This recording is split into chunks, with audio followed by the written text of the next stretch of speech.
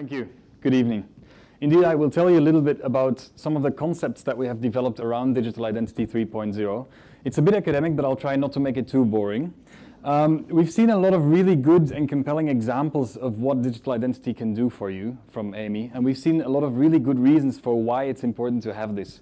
But I will try to summarize in a few, five concepts, what our understanding is of digital identity 3.0 and why it's important and what it should look like.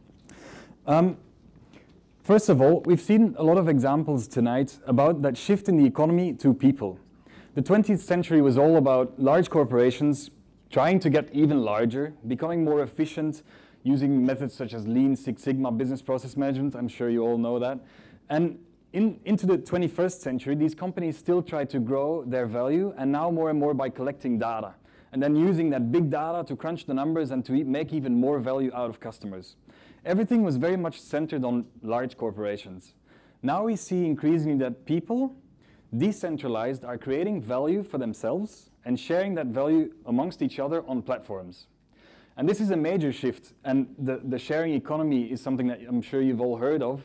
And it's not some small little startup community that's, that is sharing stuff. It's really happening, and it, it represents a major shift, major shift in the economy. And it also means that people feel more empowered, and they also want to get power back over all that data that's out there in the hands of these corporations. That's why digital identity 3.0 is so important. And then also to protect the privacy of your little endeavors, of course, as we've seen today. Um, what is digital identity 3.0? As was described before, it's uh, by, by John, I believe, it's a, it's a private master record. It's your own record of who you are and anything that you want to store in it. But on top of that storage space, it allows you to do stuff with that data.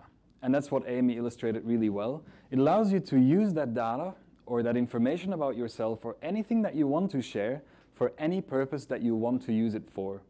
And this image shows really well that the data comes back to the customer and is structured around the people in clusters that they can selectively share with different organizations. And we believe for Digital Identity 3.0 to really uh, help the economy of people reach its full potential, it has to have these five core characteristics. And most of them have actually been mentioned uh, literally or in illustrations today. I'll go through each of them in detail, but in short, we believe a Digital Identity 3.0, a platform for people, should be consumer empowered, obviously. It should learn effortlessly from your behavior, both physically and digitally. And that, that last question referred to that. You don't actively have to teach it, it learns automatically. Thirdly, it pulls proactive services towards you based on what it learns. Because it knows so, you so well, it can predict what you need in the future. Fourth, it's open. You can do anything that you desire, and you can add any type of data or attribute or use case to the platform. And fifth, it's connected. And obviously, you can't do much with all your data and your sharing if there's no one to share with. So it should connect you to the people around you and to your existing networks and new networks.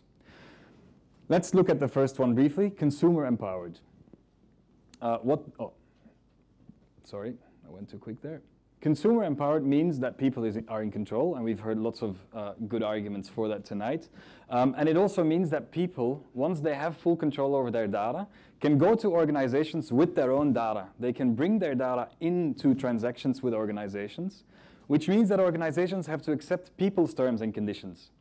And that also means that people can decide to stop sharing their data with a certain organization, and the organization would have to delete the data. And we saw a really nice example of Ashley Madison not doing that properly. Um, digital identity platform, it's, the reason why it's so important that it's owned and managed by people is exactly that. There is, of course, no really good way yet to make data uncopyable so data can always escape your, your hands somehow. But Digital Identity 3.0 could give you the tools to manage it in the best possible way. And then it's up to the people to decide how much they share and with whom. The second element is that it's learning effortlessly from you. These days, there's hardly anything that doesn't leave a digital trace. If you take just the example of your smartphone and your credit card, for example, Based on just the input of those two devices, your digital identity could learn almost everything about you. It would know what you buy, so it would know, for example, which food you like. It would know which food you like to eat with whom, because it would know when you are with certain other people if it connects you to those people. It would know um, the schedule for the next couple of months. It would know how often you exercise. It would know how many, um, how many times you will be exercising in the next couple of weeks because it has access to your calendar. So it could basically predict that you'll gain weight. And then, based on that prediction, by learning automatically from different streams of your life in an integrated way, it could predict these kind of trends happening, personalize services for you, and then proactively respond. It knows you'll gain weight, so what it'll do is it'll try to schedule some time in your calendar for a bit of exercise. It'll cancel that dinner, dinner reservation that you made for the next evening, invite your friends over to your home, and let all the nice groceries, fresh vegetables arrive to your home in time. So proactive services, sorry, proactive services that come to you before you know you need them. And this sounds nice, but it's actually possible. All that data is there. The problem is the data is now in the hands of corporations and not you. So you can't use it to unlock these proactive services coming towards you. So corporations come to you. An example for the university would be, we would be able to tell you what you need to know before you know that you need to know it. So we would know which jobs you do, we would know what you studied, and based on that, we could tell you your knowledge on innovation is outdated. You really need to take this design-led innovation course, especially because your next job will require these skills. So proactively, your digital identity can draw services towards you before you know you need them. The next element, that's four, I think, it's open. And open means it's independent, as we said before, and users can use it for whichever purpose they desire. That means that users also have to be able to add new data to the platform and new types of data. Not just fill in a new field, but specify a new field. Um, we see all these nice examples in the sharing economy. There's an app for finding people, well, actually finding fruit and vegetable in fruit and vegetables in the gardens of people near you that is almost ready to eat. There's actually an app for that, Ripe Near Me it's called.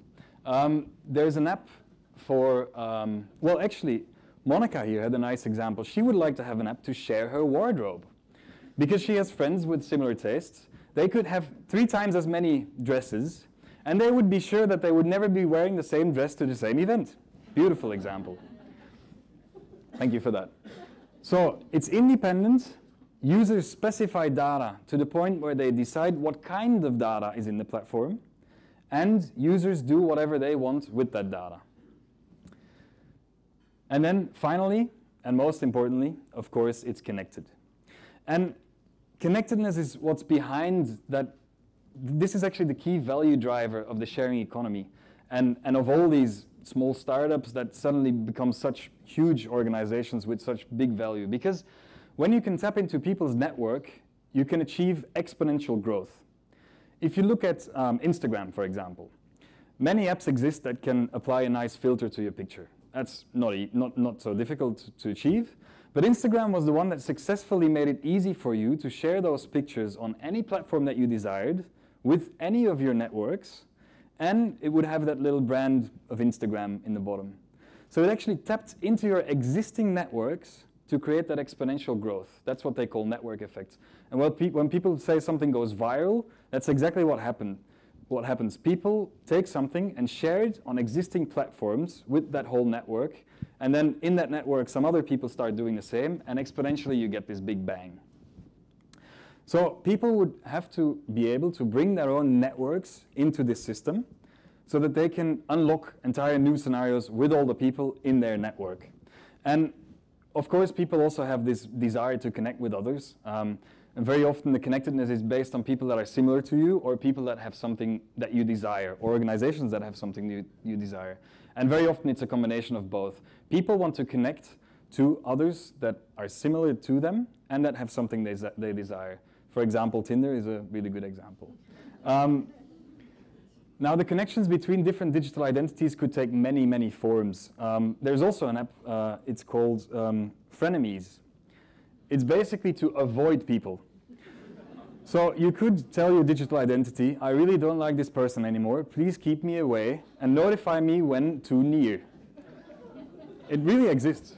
So the connections between different identities could take any form again. That's the openness. So in very brief, we have five core characteristics.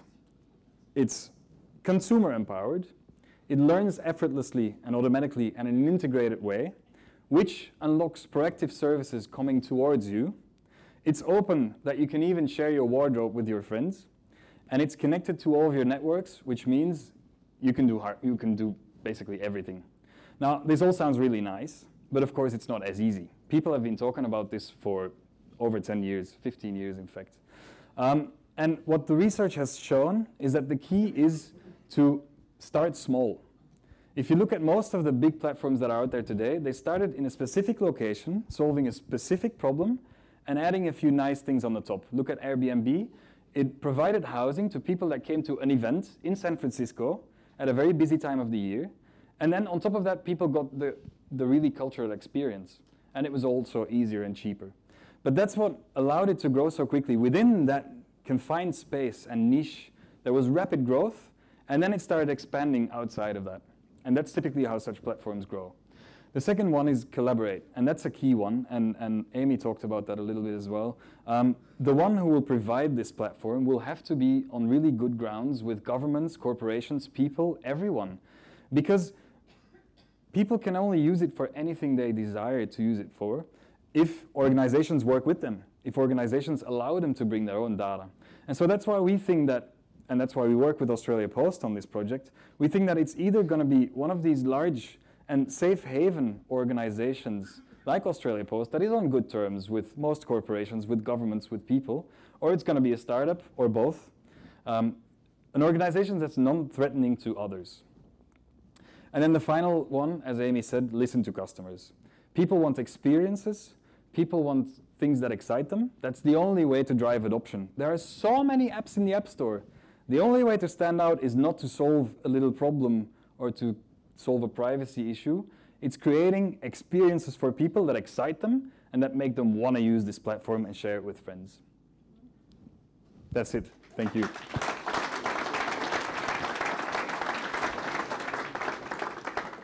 Thank you very much, Willem. Thank you for sharing the uh, the, the beautiful future of digital identity and also the scary one. So, so I absolutely love that uh, my wife will be able to share wardrobes with her friends. That's, uh, that's good news for my wallet. Money uh, saved. and her wallet. Uh, this uh, the, also the scary part, the robots canceling my, my dinner dates. Uh, I'm not sure I'm, I'm up for this one.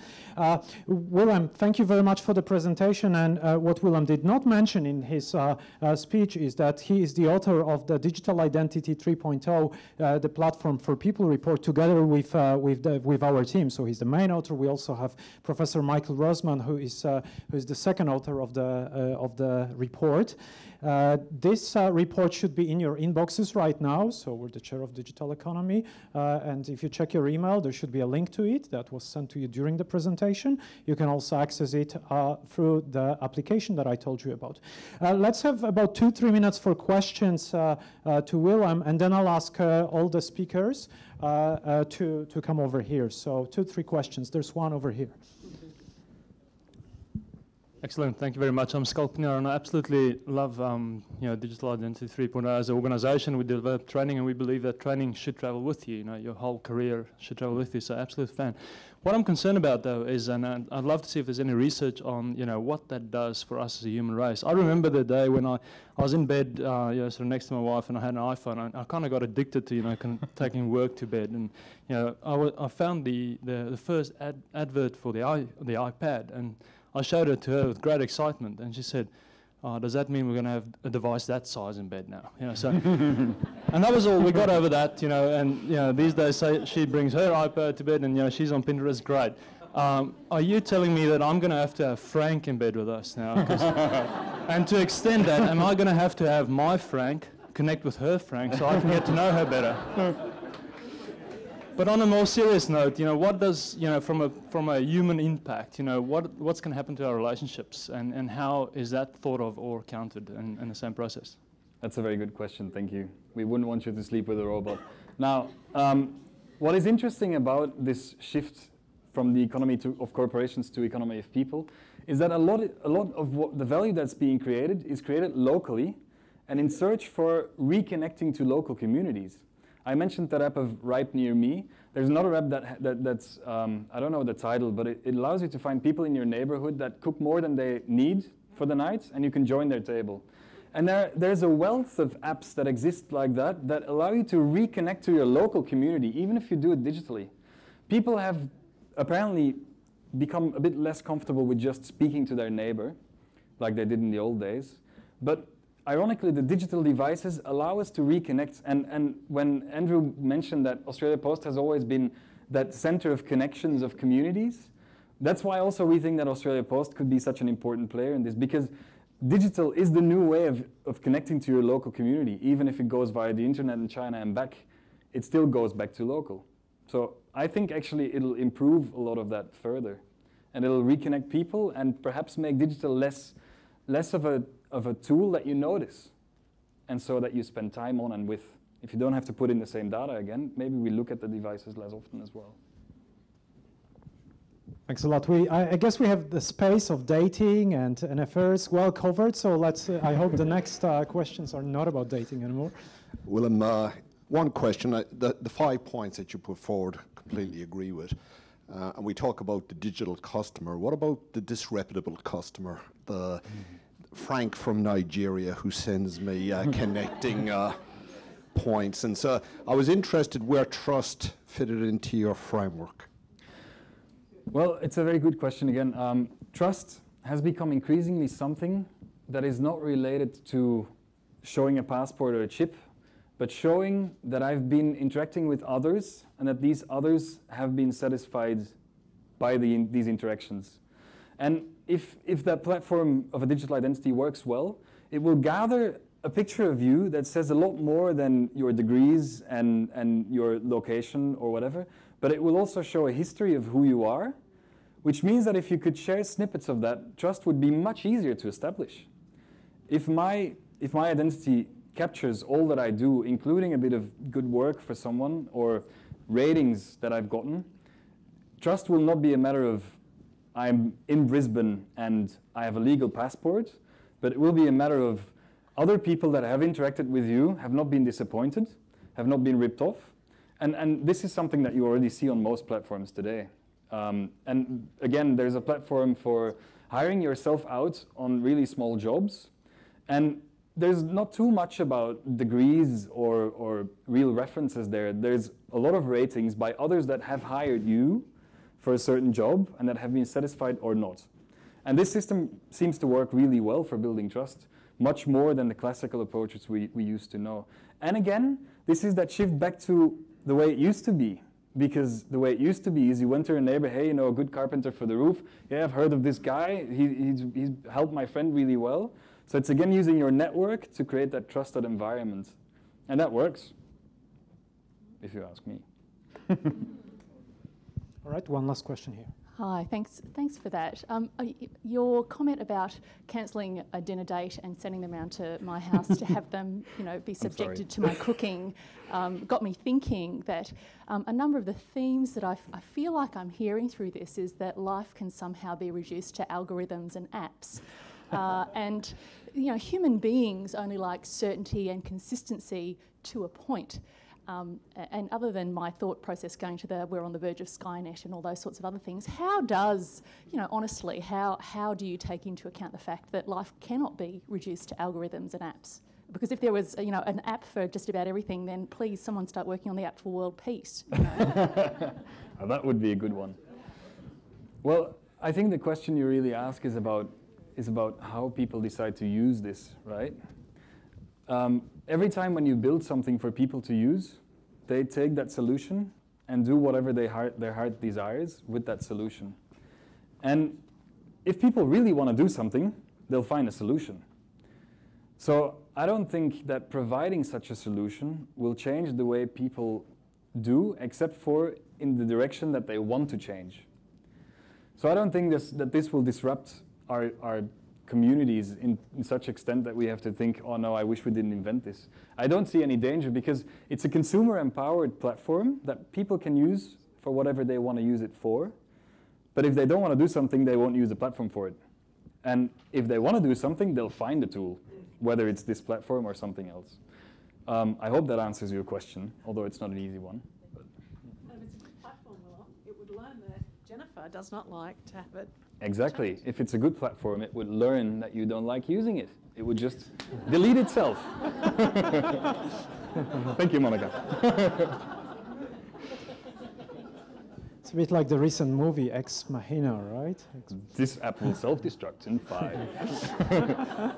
Thank you very much, Willem. If I could have all the other speakers.